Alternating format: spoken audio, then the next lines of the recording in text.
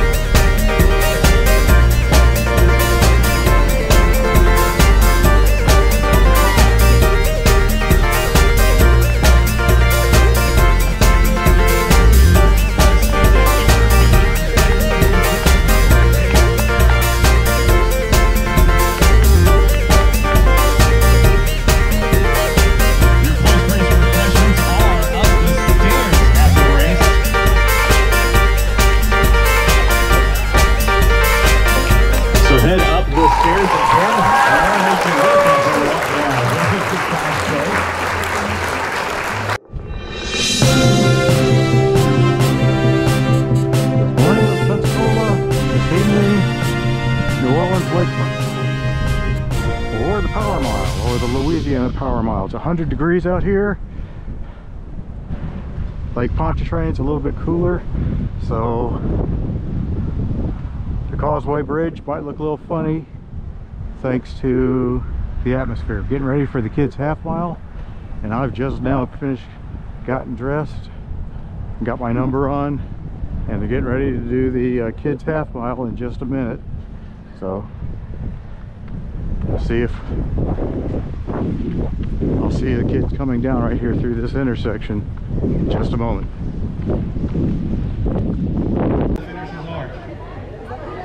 It's all left turns, so if you make a right turn, you're in the wrong spot. Okay. Okay. We're gonna we're gonna have uh, command over our set, and then you're gonna hear the gun. Don't shoot him. Okay,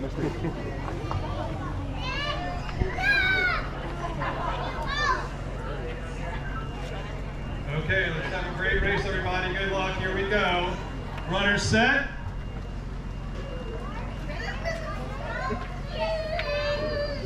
Maybe. Are we going? Thank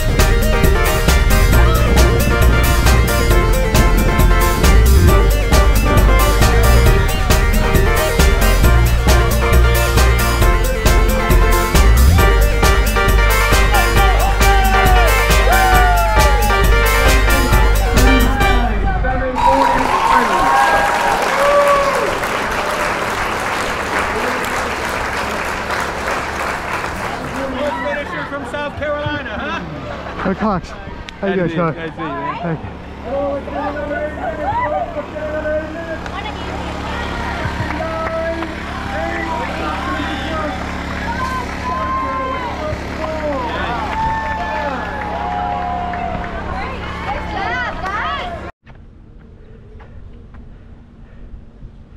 Well, I close this day off with a near sunset along Lake Pontchartrain.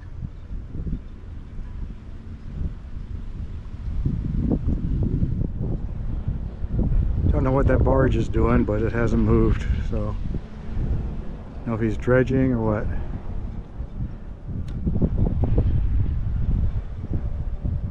So y'all have a good evening. I'm gonna get in my car and get find some air conditioning.